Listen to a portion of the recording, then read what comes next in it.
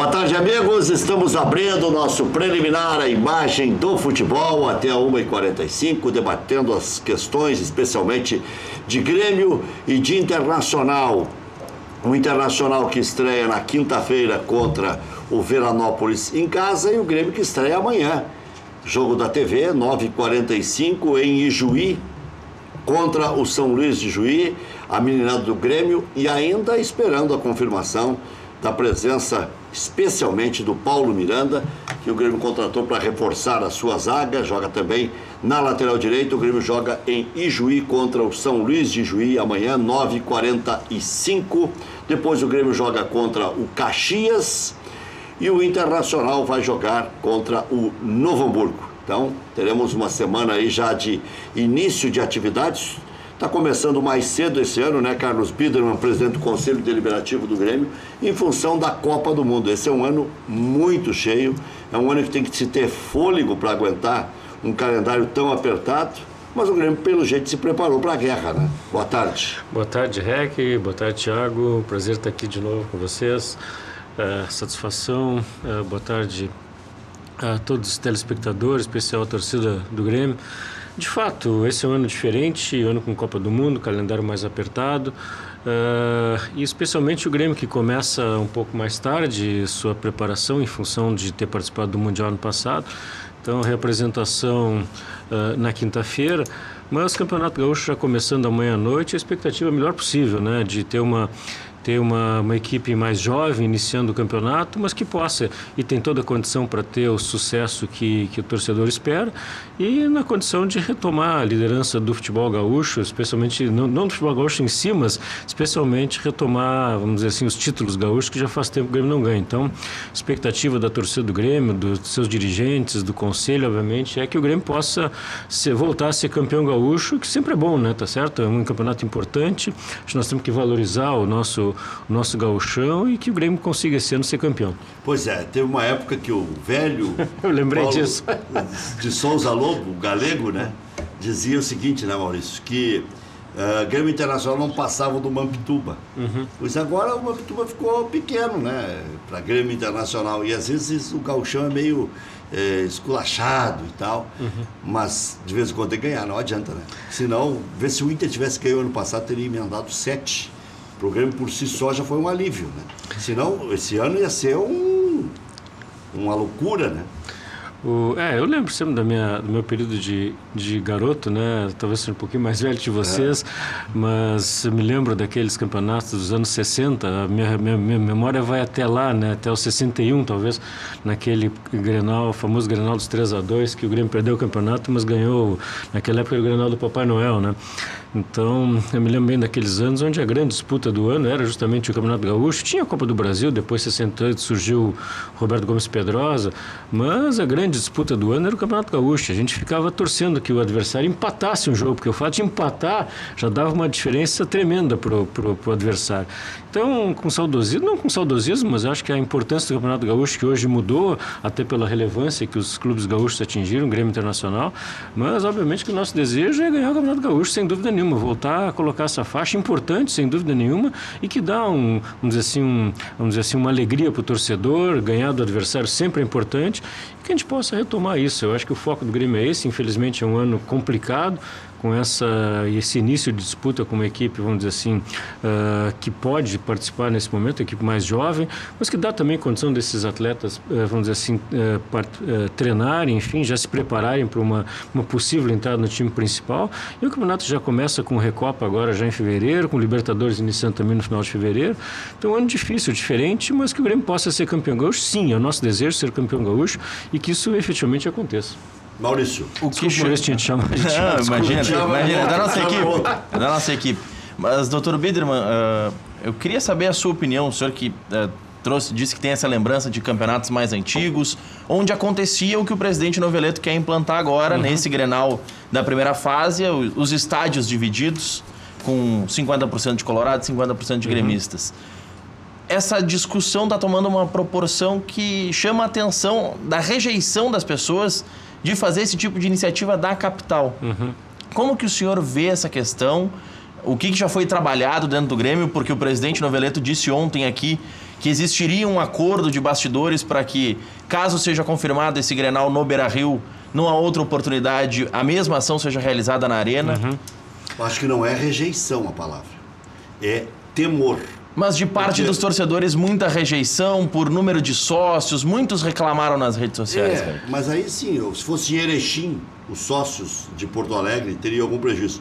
Mas de sã consciência, ninguém vai achar que um Grenal na 11 rodada do Gauchão vai superlotar, mesmo que tenha as duas torcidas.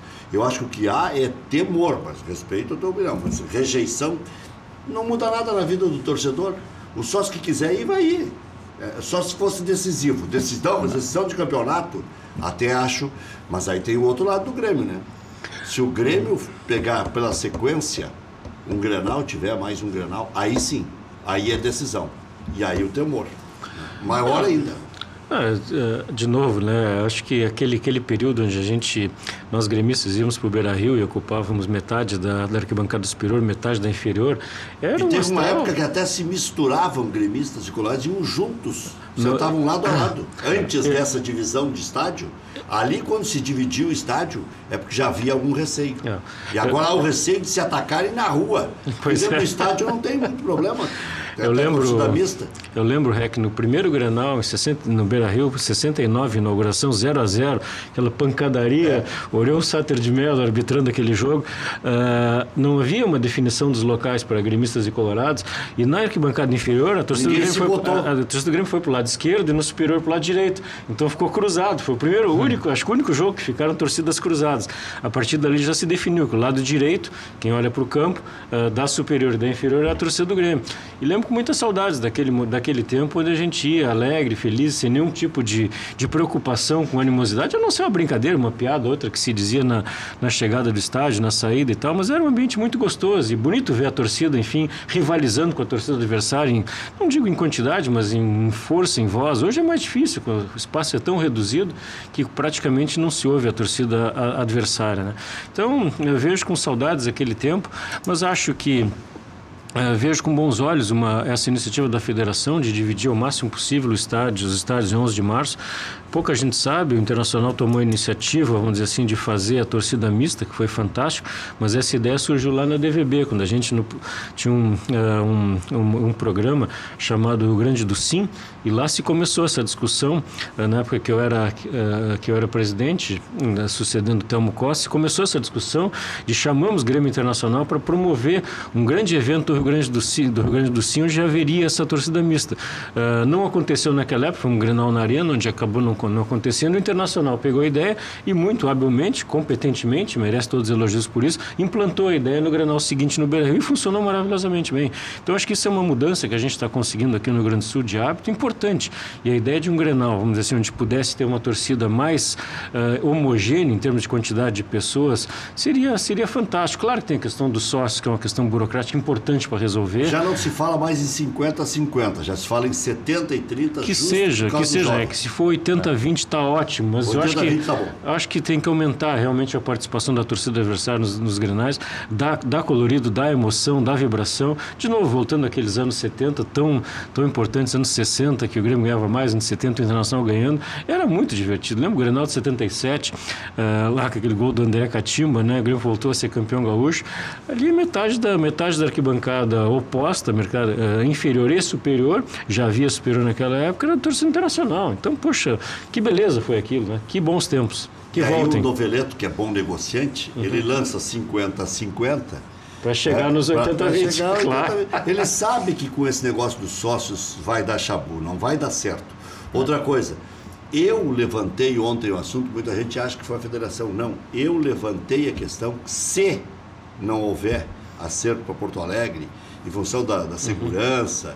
que a brigada não garanta, que a prefeitura não queira, que o governo não queira, sei lá, tem que haver a essência de todo mundo, né? Claro. Ah, haverá inclusive uma reunião, não sei se nos próximos dias.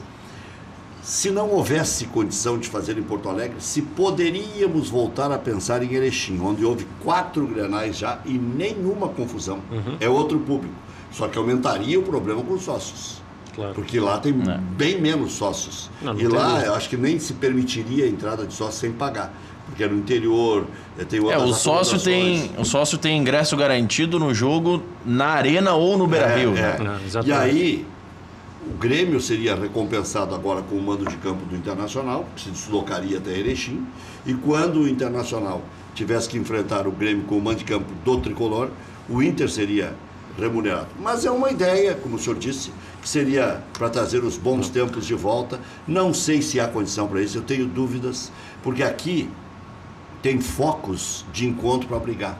É o Parque Marinha, é em frente ao Praia de Bela Shopping, é no trem, é na chegada em São Leopoldo, é na- nos arredores do, do Beira Rio e da Arena. Esse é o principal ponto de E com- diminuir é. o contingente do adversário, porque daí se entra por um, um brete, se fica mais fácil de proteger. Agora, dentro do estádio, eu não vejo grandes problemas. Já tem que ter policiamento na divisão, já tem que ter policiamento para a revista. Então, É, eu não mas vejo- aí imagine, Rec, o maior que, problema que- é no- nesses é, o problema é o deslocamento É, das é. torcidas e a dificuldade que advém por conta disso. Sabe- Para você ter uma mais- ideia, se trabalha em média em clássico Grenal, dependendo do tamanho do Grenal, de 250 a 450 policiais.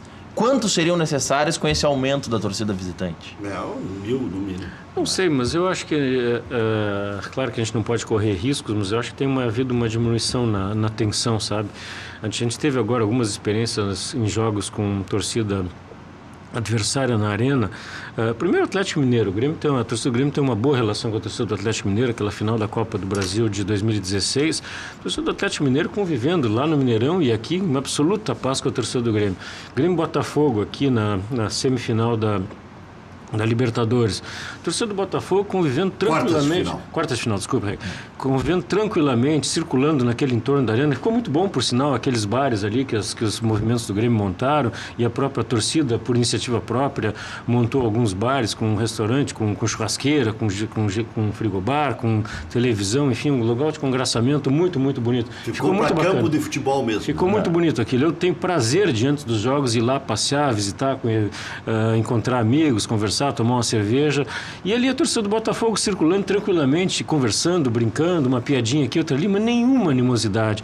Então isso tem melhorado, eu acho que esse ambiente, especialmente em relação a algumas torcidas. Não ter medo, acho que é o começo. né? Claro, eu acho que Grêmio Internacional, claro que a- a- o potencial conflito é maior, mas eu acho que nós se começou um movimento para reduzir esses Os conflitos. próprios arredores da, da arena mostram que dá para conviver. Com certeza. Porque ali, os colorados, quando o Grêmio joga, eles se expõem. E quantas vezes eu circulei ali de carro e vi gente com a camisa do Internacional em dia do jogo do Grêmio? Claro. Vocês moram ali? É. Não tem como fazer. No Beira-Rio não tem esse problema, porque eles não moram ali. No Beira-Rio não tem nada nos arredores mais próximos. Mas ali é colado na arena, tem casas de colorados e, e não tem guerra. Então, olha, se a gente pegar a arena como exemplo, já vê que dá. Dá, dá sim. É, dá, sim. eu, Eu, até confiança sim. primeiros jogos eu tinha algum receio de dizer para os colorados não saiam, hoje é o dia da festa do Grêmio, fiquem Tá. dentro de casa, não façam piadinha. Uhum. E ainda vale o recado, né? vale. né? Respeitar, é o dia do jogo do Grêmio. Claro. Aque- Aquele, aquela vez que o Inter desembarcou, campeão do mundo, que veio lá de Canoas até aqui fazendo festa, não houve uma briga com a torcida do Grêmio, Uhum. nada. Claro, a torcida do Inter era em maioria, o gremista E também, agora? né? E agora e agora com- o Grêmio campeão da O Libertadores. tricampeão da Libertadores, mesma coisa. Parou Ah, toda sim. Porto Alegre, não dava para chegar, o Grêmio não conseguia chegar na. Sim, eu acompanhei, na eu estava eu tava num É. daqueles carros alegóricos ali, não aconteceu houve nada. Nada, ninguém nada, jogou nada. pedra, ninguém. Não, e mais do que Claro, isso. Tem segurança e tudo. Tem Mas mais do- em Paris, tem segurança Não, não, em lógico. Barcelona. É, Mas mais do que isso, Rec, o Jesse James, conselheiro do Inter, contou aqui que ele, por coincidência, estava levando alguns ídolos do Inter, o Perdigão, o Gabiru, que ele foi buscar no aeroporto e passou no meio dessa carreata. E os torcedores do Grêmio só fazendo foto, brincando. Claro. Não teve problema nem com ídolos identificados da equipe adversária, né? Agora, doutor Biderman, o Grêmio vive em mares serenos, mas ainda assim o torcedor está angustiado com contratações e tudo mais. O Grêmio não contrata porque tem essa metodologia nos últimos anos de fazer as coisas com muita serenidade, com muita tranquilidade e deu bom retorno, ou o Grêmio realmente tem dificuldades financeiras acho que- inerentes ao futebol. Eu acho, Rec, que são as duas coisas são verdadeiras, né? Claro que a gente tem uma certa distância do Conselho de Administração e da própria futebol, não acompanha o dia a dia do que acontece, mas casualmente ontem estive na reunião do Conselho. Casualmente não, a gente tem, uh, criamos esse hábito com o presidente Romildo, que o presidente e vice do Conselho de Deliberativo participem das reuniões do Conselho de Administração pelo menos uma vez por mês. Então a gente, ontem nós participamos, enfim, a gente discutiu algumas dessas questões, mas obviamente que as duas questões são, são verdadeiras. Primeiro, o Grêmio tem, aprendeu ao longo da sua história que grandes contratações têm que ser feitas muito seletivamente, com muito cuidado, com muita parcimônia, porque, via de regra, grandes contratações de grandes craques pretensos craques, nem, na maioria das vezes, não dão tão certo quanto se espera. Né? Segundo, porque, obviamente, que a, que a situação financeira do Grêmio não é a, a, mais confortável. O Grêmio continua, isso é público, foi divulgado no orçamento para 18, aprovado no final do ano passado, e o Grêmio precisa, efetivamente, de venda de atletas para equilibrar as suas finanças. Esse ano não tem nada, tem perspectiva, obviamente, de uma ou duas...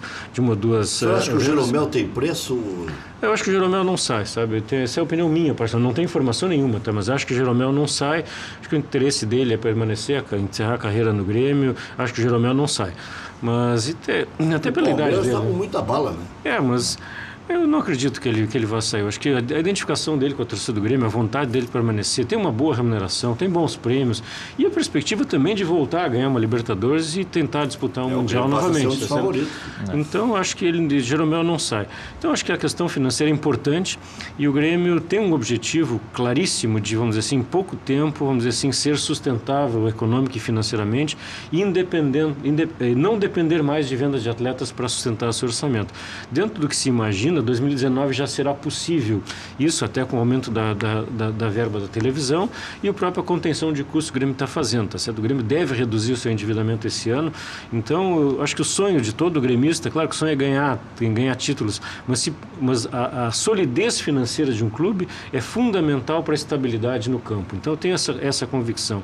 E o Grêmio está perto de chegar a essa estabilidade financeira, uma redução muito importante do seu endividamento, uma redução importante do seu custo financeiro, o que vai vai permitir que o Grêmio seja um clube sustentável, uh, vamos dizer, não vou dizer permanentemente, mas sustentável por um longo tempo, o que vai dar condição do Grêmio estar permanentemente disputando títulos importantes. Então, acho que isso é fundamental e o Grêmio joga com essa, com essa possibilidade.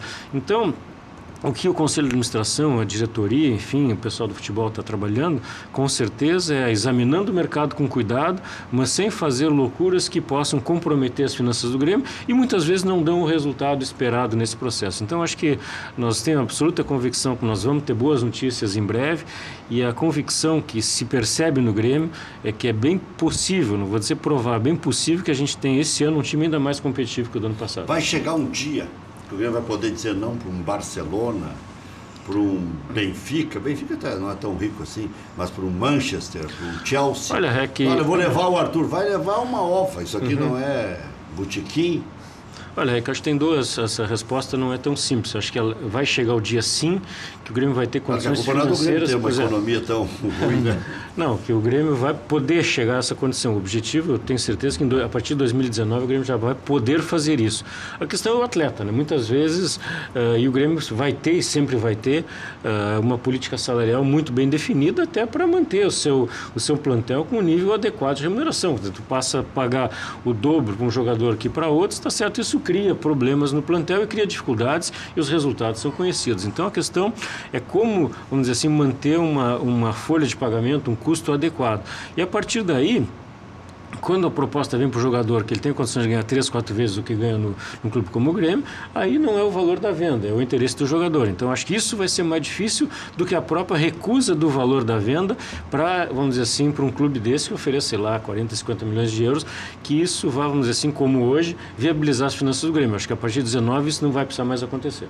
Acho que essa é a grande modificação. O 19 já é. Então, 19, o ano né? que vem, o Grêmio já estará partindo para autossustentação, não, mas para sustentação com os recursos advindos das mais diversas fontes. E digo né? mais, é que é bem possível que mantidas, mantido o crescimento que vem experimentando mais recentemente, ainda mais se o 18 for bem no futebol, como esperamos que vá, é possível que a arrecadação do quadro social em 19 já seja suficiente para pagar a folha do futebol.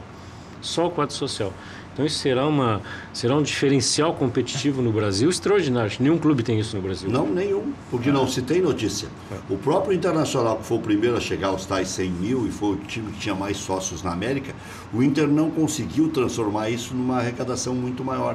Teve que fazer sempre planos promocionais. Isso. E aí chegou mais rápido a 100 mil, o que é também mérito Não, absolutamente Internacional. legítimo. Era uma meta. legítimo. Mas claro. o Grêmio conseguiu eh, elevar o, a outros patamares, fatura a mesma coisa que o Internacional com menos sócios. O senhor está projetando que aumente uns 15, 20% aí do. Ah, pelo menos. Esse ano tem condição de aumentar pelo menos Aí 15 a chegaria a 20%. 110, 115 Mas Isso, o- com um ticket médio s- bem, Bem bem, interessante. Não sei se maior que o internacional, porque eu não conheço os números É. internacional, mas com um número muito interessante. Mas esse acréscimo de receita dos sócios, ele. é, Porque a partir de determinado ponto o Grêmio passa a ter que compartilhar o valor com a arena. É né? verdade, Volta a é ter. verdade, é verdade, é verdade. 65 Mas mil. eu acho que isso tudo está, é verdade, mas isso tudo está dentro de um contexto aí de uma possível negociação que vai se fazer. Eu acho que necessariamente, ah, em pouco espaço de tempo, vai se sentar na mesa, discutir, rediscutir esses Acho que termos. até uma loja de bateria Eu- vou colocar ali, porque É.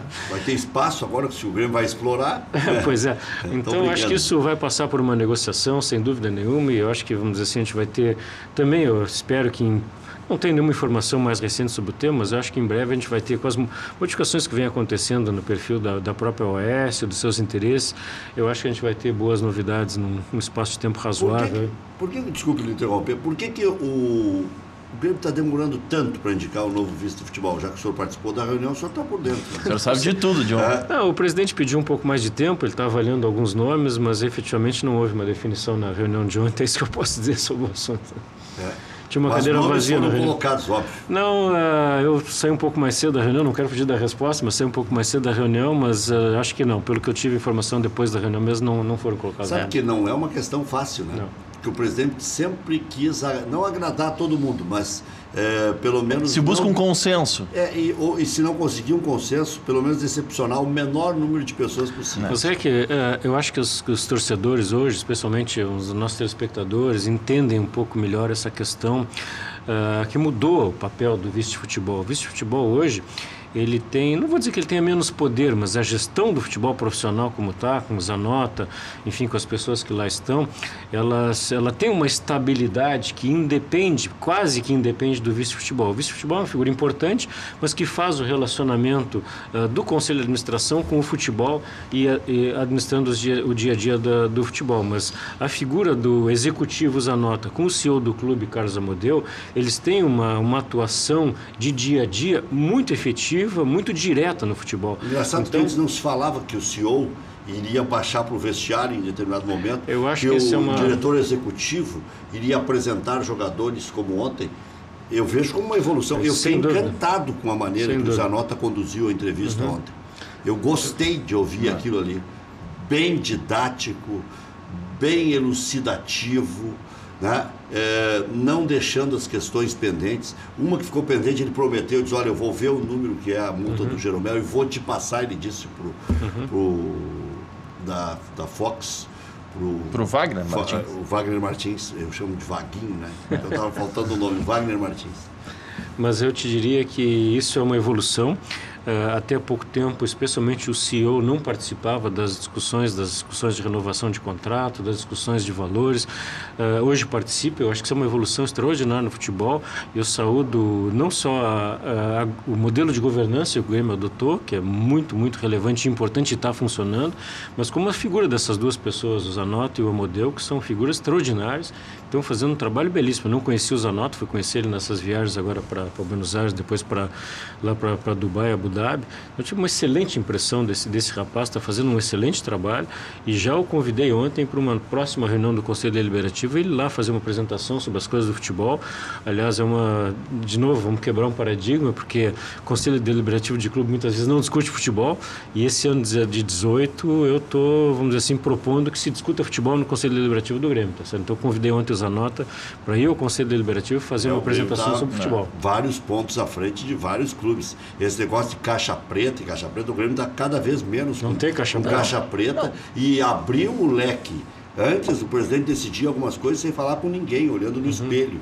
Né? Agora, o presidente do conselho está junto com o vice do, do, do, conselho mesmo, participando do conselho de administração uma vez por semana, engordando ali a, a, a, a quantidade de, de debatedores, né? Eu acho muito interessante. É, sugestões, o Internacional, né? em tese, tem, era para ter cinco votando em algumas questões mas não se, não se vê uma coisa assim tão perene, tão não. sólida, né? O próprio presidente Medeiros disse aqui que nenhuma que apesar de serem realizadas constantemente reuniões, nada foi levado à votação nesse conselho, é. não precisou ainda ser votado nada. Uhum. Né? É. é. que votar, algumas questões é, é meio maneira de dizer, né? O, o vice de futebol não vai ser votado. O presidente vai colocar alguns nomes ou um nome. Eu não sei se tem poder de veto o conselho de administração dizer esse aí não. Alguém pode chegar e dizer? Eu acho que teoricamente sim, Rec. Não sei se isso aconteceria, mas teoricamente é possível, tá? Acho que o presidente consulta acho pelo eu... telefone para não arriscar. Para não, não registrar sei, na não Sei, acho que não, acho que não. Acho que ele vai colocar na mesa na reunião. Uh, tem havido, enfim, uma participação, além de uma participação efetiva, um ambiente muito bom no Conselho de Administração do Grêmio. Tenho, tenho, tenho convicção que ele pode colocar sim e as pessoas vão dizer o que pensam, prós e contras, e tomar uma decisão. Se não for de consenso, pelo menos uh, por convencimento de alguns que eventualmente tenham questões menores a levantar contrárias a essa questão. Eu acho que é perfeitamente possível que isso venha a acontecer. É, eu acho que alguns se desgastaram. Se especulou no nome do Antônio Dutra Júnior, acho que houve um desgaste na outra passagem dele. Não vejo Antônio Dutra Júnior como nome. Uh, se especulou o Kevin Krieger, não. que aí eu vejo que mesmo ele dizendo que não possa acabar sendo, e o Alberto Guerra, que eu acho que seria até um resgate, porque na oportunidade que ele saiu, ele tinha contratado Edilson, uhum. Kahneman, e era um cara que tinha um bom conceito. Até queria o Renato já naquele Queria momento. o Renato. Ele, ficar, ele contrataria o Renato, mas como começaram a minar, ele abraçou o Roger uhum. para não ter problemas de continuidade dentro do Grêmio e depois saíram os dois juntos. Né? É. Então, eu, eu acho que seria um resgate. Eu não vejo outros nomes assim. O, o, o presidente Duda não quer. Não adianta. O presidente, o Bida não conhece bem, é um bom vivan, né? Ele quer levar a vida dele naquele tranco, né? É, eu acho que ele, é, ele mais aparenta e faz o jeito bom vivan do que ele efetivamente é, porque ele hum. trabalha muito, tá certo? Não, é, não mas que bom vivan é Cuida bem dos seus negócios. É aquele negócio de levar como ele acha que uhum. tem que ser. E o futebol é estressante. É demandante, é demandante. Mesmo que seja um cargo político, que não tem uma atividade de gestão muito pesada, é, muito forte, mas é, um, mas, é um, mas é um cargo muito pesado. É, entrevista o dia inteiro. Eu mesmo trabalho numa rádio que tem futebol 24 horas. Não, a Rádio dem... Grenal é 24 horas. E demandas de todos os tipos. O presidente mesmo cita que recebe 15, 20 ligações de empresários por dia. Nessa época, o vice de futebol enlouquece. Né? Pois é. Viagens. Embora o diretor executivo e da categoria do, do Grêmio, né? Aliás, temos que trazê-lo aqui também, né? Não, não ah, veio tem que trazer. Você não veio, Zanata aí? Não Poxa, veio. Por favor. Temos que trazer. Eu fiquei impressionado com a apresentação que ele fez, com muita categoria ontem, uhum. do Madison, né? Uhum. É. Só deixa eu pegar a questão anterior que a gente estava falando sobre finanças. Uh, por coincidência, foi divulgado pela Folha de São Paulo um ranking, criado pela Folha, enfim, um ranking de títulos protestados nos clubes. Ah, foi aí, então, foi a, a, Folha. A Folha de São Paulo fez esse ranking colocando o Corinthians... Tá, mas título protestado, nós estamos falando antes é, do programa é. com, com o Dr. Peter. Em que período eu vou buscar aqui tá. as informações que a Folha divulgou sobre os do Grêmio. Mas contextualizando. Eu achei é... muito pouco dos clubes, é. você bem honesto, pelo que se fala eu, mal eu achei, Eu achei muito. É, o, os títulos protestados dos clubes. O líder, o que deve mais, no caso, o que tem maior número de títulos protestados é o Corinthians, com 53 protestos. Isso é um levantamento até o último dia de 2017. O Grêmio. Não o ano de 17, não, não, pode ser a vida inteira. Não, não, calma, calma. O Grêmio vem em segundo lugar com 47 protestos. Aí eles fazem um levantamento, falam sobre especialmente os títulos do Corinthians. E existe aqui a. O Inter tem que lugar aí? Tem 18. O Inter, vamos lá. O Internacional tem 23. 23. Vamos lá, o Grêmio é o... toda hora que eu ouvi, então... o Grêmio é o segundo com 47. Tá. São Paulo 31, Botafogo 26, Inter 23. Então o Inter é o quarto, quarto colocado. Não, quinto. Não. Corinthians. Corinthians, Grêmio, São Paulo, Botafogo e Inter. é o ah, quinto colocado, com 23 títulos protestados. Aí fala que em valores totais, que o Corinthians ocupa a segunda posição, um que o Fluminense é que deve mais com 1 milhão 490 mil em dívidas. É o Fluminense mesmo. Tem tendo- menos títulos, mas menos maior títulos, valor. mas de maior valor. Tá. Deixa eu buscar aqui sobre os protestos especificamente do Grêmio. Vamos lá. Ah, aqui a matéria transcorre- fala muito sobre os títulos do Corinthians, até porque é o grande foco. Mas o, o Grêmio aqui são 47 títulos. O segundo com mais dívidas registradas. ah, cita quatro dívidas com a Transrio Caminhões e Ônibus. Yeah. Aí tem os valores dos títulos. Diz que a maioria dos títulos é de 2014. Então é pouco mesmo. Se é pra história, 47 é nada. Não, Então, é que eu, eu- não conheço, eu não conheço esses O números. ideal é conheço. não ter nenhum, Não né? tinha que ter nenhum, né? Não tinha que ter nenhum. A não ser que tenha alguma discussão por alguma outra razão, Mas tá é certo? isso, Mas- é discussão. É, a, a maioria dos títulos é de 2014. Os títulos mais recentes foram registrados em julho do ano passado pela Oldoni Sports, que é uma empresa de malhas. É um título de 5 mil reais. Segundo a própria empresa, os débitos são referentes a produtos da linha Retro, que são vendidos na loja oficial. Às vezes se atrasa o pagamento. Por isso que o título vai a protesto, mas logo depois o clube paga. Ah, teria- tem um projeto, um protesto de uma empresa de comércio de produtos de higiene de 1.181 reais de julho de 16. Esses são os protestos mais recentes. Às vezes é na própria burocracia, É. a organização. Mas eu achei pouco. Se é 47, eu tinha razão. Mais do que zero é muito, cara. É. Não, o que eu quero dizer é que o clube de futebol tem uma má fama, né? Que a gente acha que ah, os caras não pagam nem lavanderia, os caras não pagam fornecedor de papel higiênico. Ah, mas isso não existe Isso é- mais. Isso é lenda. não existe mais. Isso não existe mais. Hoje não tem como sobreviver sem pagar as contas, certo?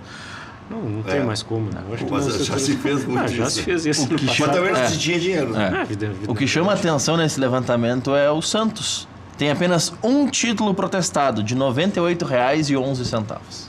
Não é 98. falta de dinheiro, Pô, é esquecimento. sair desse ranking aí. Bom, olha aqui, ó. Madison, Tony Anderson e Alisson ainda não foram inscritos no BID. Estão fora da estreia no Galchão. Uma pena, né? Porque a gente está curioso de ver o Madison que voa. O Alisson, esse que pode ser opção até para titularidade, vai disputar com o Everton. De repente, com o Alan Ruiz, se, se chegar, eu vou perguntar para o Dr. Pedro uma opinião sobre ele.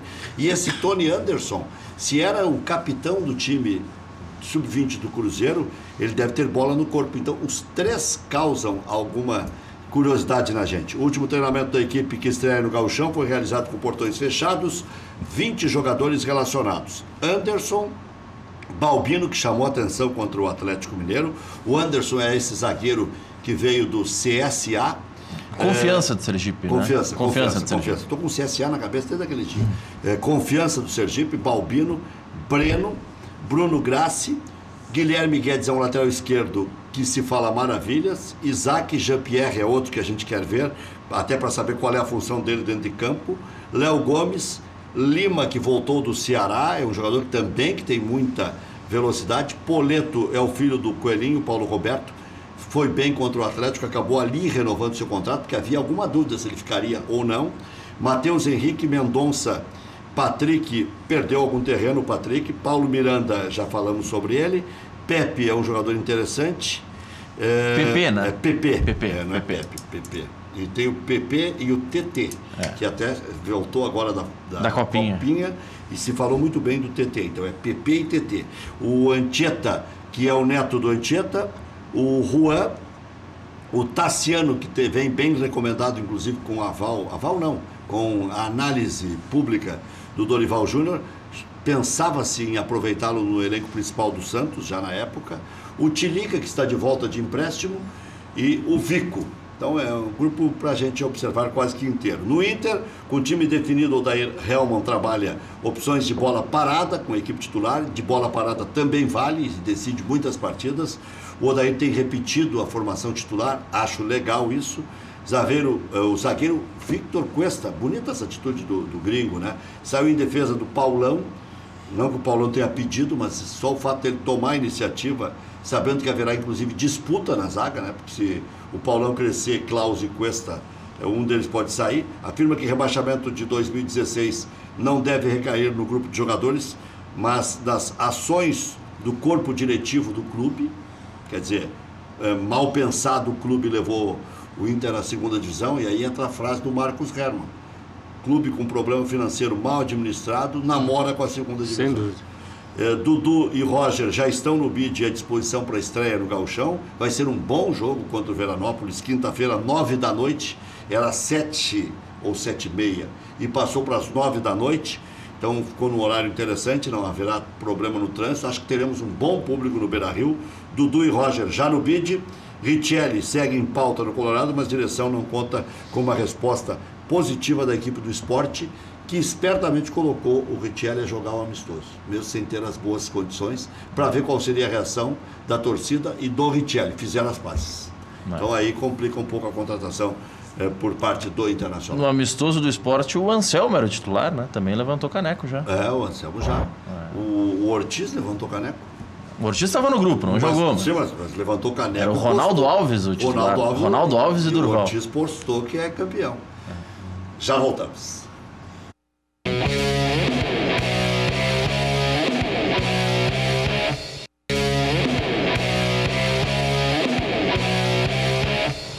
Alguns recados aí pela nossa página no Facebook, Maurício. Transmissão no Facebook, facebook.com.br Luiz Carlos Reck. Luiz, Mundo afora aí. É, Luiz Garrido. É, é. Luiz Gustavo Garrido é conselheiro do Grêmio, inclusive. Né? Um uhum. abraço, Reck, Maurício, e ao meu presidente do conselho. Grande programa. O Paulo Roque Sarmanho, muito bom e esclarecedor o programa. Parabéns, Reck. E o Carlos Burlamarque. Rec, boa tarde. É. Não gosto de fofoca, mas na Grenal estão falando que o Jael não precisa de empresário. É tudo contigo. Não, eu já disse. quando me perguntaram se eu ficaria com o Jael, eu falei, se for por 110, não. Agora, o que eu reconheço no Jardel e expliquei a ele. Jael, Jael, Jael. Jael. Pô, parecido. Jael. É, e expliquei a exaustão na Grenal, é que eu não vou tirar os méritos dele na participação nos jogos contra Barcelona de Guayaquil, quando a coisa engrossou, os caras tinham 1 a 0 e tocaram a bola no poste, mesmo cansados, e aí se viu que era um bom time. Aliás, eliminou o Fluminense lá da Florida Cup, uhum. tocando 3 a 1 Então já estava 1 a 0 engrossando, os caras indo para cima do Grêmio, tinham tocado uma bola no poste, o Jael entrou e acabou o jogo. É, ele passou a chamar a atenção, Isso. e inclusive ele mesmo acertou uma bola no poste. O Jael participou do gol decisivo contra o Lanús. Contra o Lanús. Lanús que hum. ele pifou o Cícero para fazer o gol. Uhum. A dificuldade maior foi o salto quando o Edilson cruza. Ele cabeceia na medida certa para o Cícero fazer Sim. o gol. E contra o Pachuca, ele entrou ele e acabou mudou com a festinha mexicana. Mudou o jogo. Mudou, chamou a atenção para ele. Então, isso é que eu pontuo. Agora, que ele tem uma estatística muito ruim 19 jogos sem fazer nenhum gol e que é difícil a minha defesa, é. é. Mas como eu passo o dia inteiro cacarejando para defender, eles dizem que eu sou teve empresário um lado, do jogador. Teve, teve um gol no lado com o Pachuca também no final Isso, isso. É. E teve um pênalti que ele sofreu aqui contra o Lanús, que ali poderia ter decidido a parada. É verdade. Então ali já o Grêmio já seria campeão, já sairia é daqui com 2 a 0. É verdade. Então vejam que ele tem coisas para citar. E passou e muito agora tempo, não é mais paixão do Renato, não é paixão minha, é quase que convicção do Grêmio. É, e passou muito tempo fora por lesão, né? Logo que chegou, se lesionou no passado, ficou, sei lá, uns 4, 5 meses fora de sem condição de jogar, né? Então teve um período de recuperação importante. Foi estar tá em condições de jogar a partir de setembro, por aí. Jogou muito pouco esse ano, né? muitos, ano passado. Muitos poucos salientam que ele jogou em Cruzeiro, Atlético, Flamengo, hum. Bahia. Ninguém engana todos ao mesmo tempo. Hum. Tá? O tempo todo. Então, é, isso aí... Pô, está tá bem de empresário, então. É, tá bem, tá. Não, é que sabe o que, que é? Eu, eu, eu tenho uma frase que eu digo em relação, inclusive, ao Internacional. É que do vigésimo ao trigésimo, cabem alguns jogadores. Por exemplo, o Fabinho, se uhum. for o vigésimo ou vigésimo primeiro, cabe ali. O Paulão cabe ali como vigésimo segundo. Uhum. O problema é quanto se paga para jogadores que ficariam do vigésimo lugar para baixo no elenco. Precisa 30. Uhum. Nós sabemos que precisa 30 jogadores. Né? Antigamente se fazia com dois e mais um terceiro goleiro. 23 estava bom. Hoje precisa 30. Né? É um bom jogador para entrar faltando 15 minutos, 20 minutos. Ele realmente eles ele chama a atenção da defesa, vai ter um ou dois jogadores sempre marcando ele. Então é um jogador de presença física. Até naquela e, atrapalhação dele, daquele jeito. É, e uma, meio, e uma, e uma, uma pequena observação, que talvez não seja tão relevante, mas nesse pouco convívio que eu tive com a delegação do Grêmio, seja em Buenos Aires, seja lá em uh, nos Emirados Árabes, a gente percebe que ele é um jogador integrado no grupo, que ele é um jogador participativo, um jogador tranquilo. Uh, enfim, a gente percebe quando os jogadores estão integrados e não estão. E o Jael está tá integrado ao plantel, é um jogador benquisto, um jogador aceito pelo grupo de jogadores. Então isso também é importante, né? E outra, o padrinho dele é o Renato, não sou eu. é, é bem mais forte do que eu. Eu só faço um barulho ali. Aliás, eu nem faço barulho, eles me provocam e eu cito sempre as mesmas coisas, tipo papagaio. Uhum. Cito esses lances todos. Podia gravar então esse trecho. É, já. podia. Só que esses lances todos são em Libertadores e Mundial. É. Não é no estadual, não é na Copa do Brasil, é Libertadores e Mundial, que é onde o cara normalmente treme a perninha. Ele não tremeu, né? Não, não. E a gente pode voltar para as Libertadores anteriores, que o Grêmio não passava das oitavas. É verdade. Né? Aí pegou um grupo de homens, de Kahneman, de Jeromel, de Edilson. O Marcelo Groi cresceu também, não ficou catando borboleta mais. Olha, muitas coisas mudaram no Grêmio para melhor. Tem que enxergar isso. E às vezes, o Grêmio no grupo campeão da Libertadores de 95 tinha Nildo, tinha Jaques, tinha André Vieira, tinha eh, eh, Gelson do, do Criciúma. É que alguns esquecem. Ah, não só nisso, olha o campeão mundial de 83, tu vai escolher- olhar aquele time, tinha alguns jogadores também que não tinham um perfil de super craques, tá certo? É, Paulo não vou César citar nomes, Magalhães e Casemiro, citar. eu vou citar meus amigos. Paulo César Magalhães e Casemiro, que disputavam a lateral esquerda, eram bons jogadores. O Casemiro eu achava melhor, acabou não jogando, jogou a decisão do Paulo César. César. Uhum. É, mas eh, não era nada de formosura assim. Vamos com o gol na memória.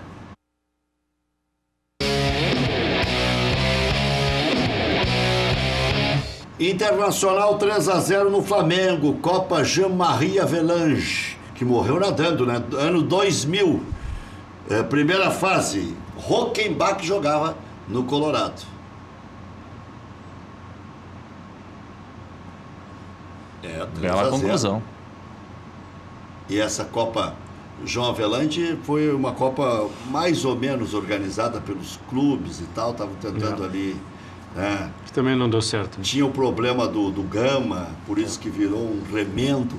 Já voltamos, já voltamos.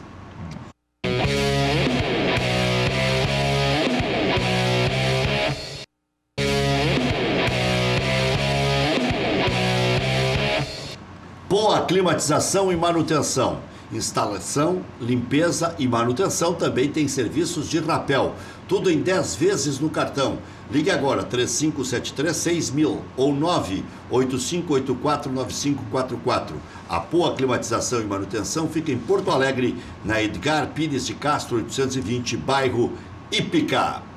Personal Car, pensando em trocar de carro? Então não perca tempo, procure a nossa equipe de vendas. Toda a linha de veículos multimarcas seminovos com até seis meses de garantia. Condições especiais de financiamento em até 60 vezes. Venha nos visitar. Euclides da Cunha 606. Telefone 3573-1900. A Personal Car, sempre trabalhando para a realização dos seus sonhos. Esse ano, qual é o título que o senhor quer? O brasileiro, para continuar na sequência aquela dos anos 90? Eu quero 94 todos. eu Copa quero- do Brasil, 95 Libertadores, 96 Brasileiro. Eu quero todos, é, que começando pelo gauchão. A gente sabe, brincando um pouco, mas a gente sabe que é praticamente impossível. A gente viu isso ano passado, um clube com um plantel, vamos dizer, de 30 jogadores disputar todos os títulos. Mas eu acho o Grêmio, ah, enfim, com, essa vitória na Libertadores, essa participação no Mundial ah, e a não vitória no Mundial, o segundo lugar, ah, que foi o possível naquele momento, tá certo? Acho que havia um desgaste emocional e físico do grupo muito, muito grande. Então foi Loucura arte esse do possível. vai ser assim Foi. de novo, né? Pois é, infelizmente, eu acho que foi, uma, foi muito, muito. Foi um problema esses 15 dias apenas entre a final da Libertadores e o Mundial. O Grêmio deu- protestou isso a propósito? ah, chegou a se falar sobre isso, tivemos algumas conversas lá que eu participei com o presidente da Sul-Americana, da, da Comebol, e enfim, ele tem essa consciência de que ficou muito apertado. Talvez 15 dias a mais já fossem É. suficientes, né? Até para o torcedor, né? Fazer visto. Então acho que eu acho que o Grêmio projeta um ano muito bom e vamos dizer assim, eu espero realmente o, o teto da Libertadores e voltar ao mundial para agora esse ano numa outra condição, numa configuração talvez um pouquinho diferente, talvez um pouco melhor preparado, chegar e ganhar o mundial. Tetra da Libertadores significa o maior ganhador entre os brasileiros. O Grêmio agora É verdade. está no patamar mais alto, mas está empatado com o Santos e São Paulo. É verdade. Se isolaria entre os, os primeiros. Valeu, obrigado Maurício. Obrigado, presidente. Obrigado, Rec, obrigado Cumprimento Maurício, obrigado pelo convite aí, estamos à disposição. Volte sempre. 19 horas tem o Cadeira Cativa.